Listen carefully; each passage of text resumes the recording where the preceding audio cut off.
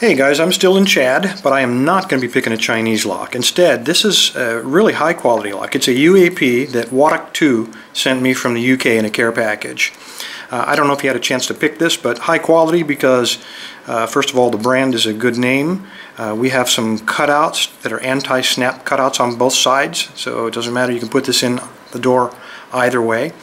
And on the bottom, of course, six pins, but we also have these carbide inserts that prevents you from drilling out these pins and overwhelming the lock that way. So pretty good, pretty good quality.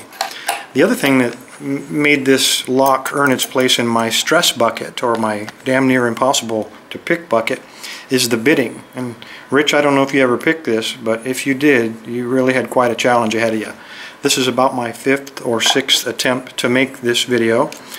The key obviously works perfectly, but we're not going to be using the key. We're going to be trying to pick our way into this. And so because of this extreme bitting, there's a couple of firsts on this lock.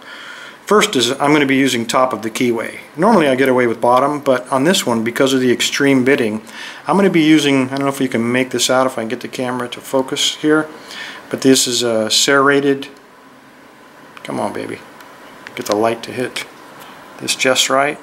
There we go.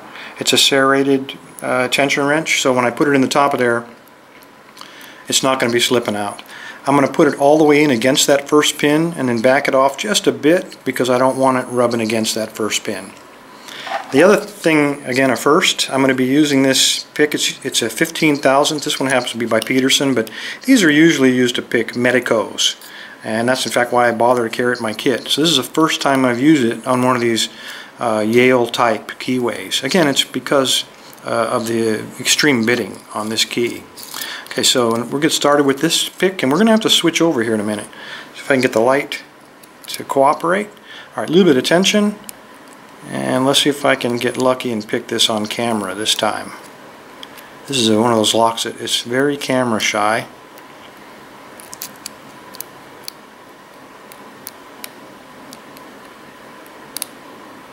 Okay, it was. I have pin 4 and pin 3. I got some slight kick, clicks and you could see the core turn ever so slightly and now, again this happened very quickly, we have a very extreme uh, false set.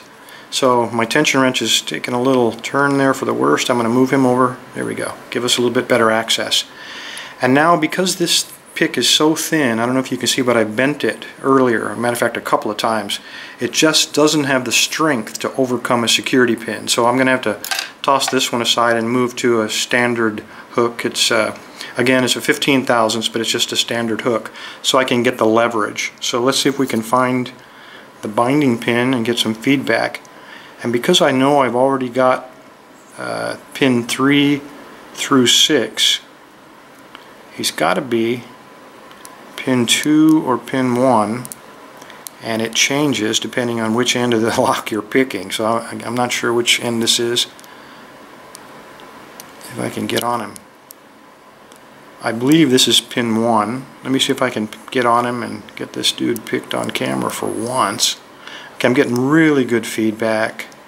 It's pushing my finger around my tension wrench. Oops slipped off. Let's try that again Flipped off again.